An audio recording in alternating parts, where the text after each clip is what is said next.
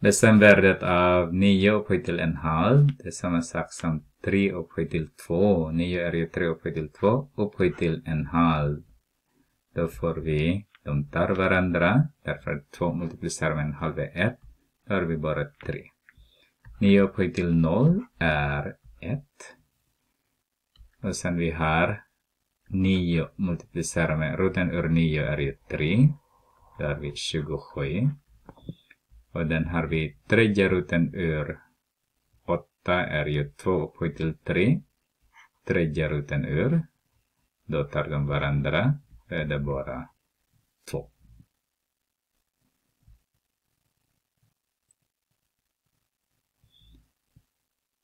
Eh, vi ska titta mer.